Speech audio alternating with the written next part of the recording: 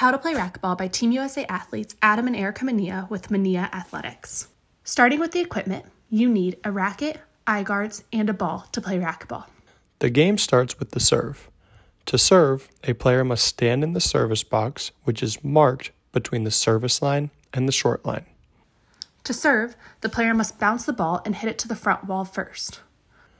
On the serve, if the ball hits any other wall before the front wall, it is an automatic loss of serve.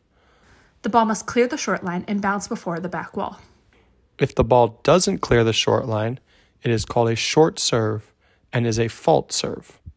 If the ball doesn't bounce before the back wall, it is called a long serve and is also a fault serve. You get two tries to hit a good serve.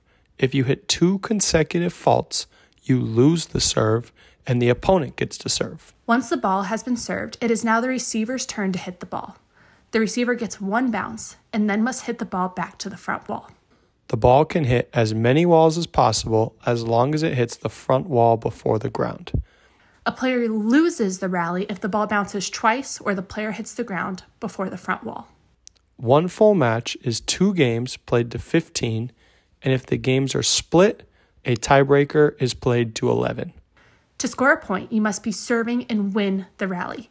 If you score a point as the receiver, you get to go serve the ball, but do not receive a point. Here is a look at a rally. The server starts with the ball in the service box, serves the ball, and clears the short line. The receiver moves to the ball and hits the ball back to the front wall before it hits the ground. The server runs over to the ball and hits it very low.